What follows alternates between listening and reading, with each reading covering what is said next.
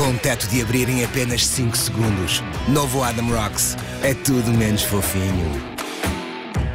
Com o novo motor 1.0 turbo, 115 cavalos, mais potente, mais económico. Agora disponível em toda a gama Opel Adam.